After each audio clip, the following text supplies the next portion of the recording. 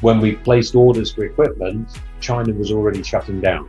Really going live remotely was the only option for us. Now we have instantaneous feedback, we have the huddles, we have the daily operations meeting. Very, very different platform altogether. Wow, I can squeeze a lot of performance from our plant. You know, it's been really great to see the empowerment of the workers. Our overall uplift was quite tremendous. Griffith Foods is an international manufacturing company delivering world-class culinary innovation to our favorite restaurants.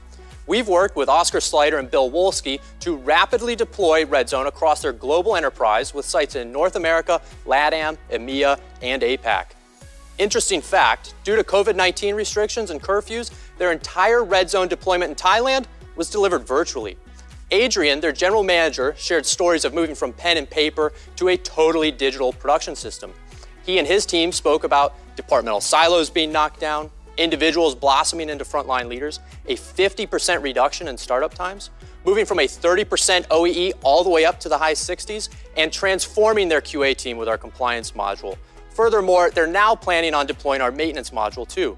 And what really resonated with me is how Adrian described the culture change RedZone helped unlock. Kun Mook highlighted her leadership skills throughout the deployment and secured a nice promotion for herself.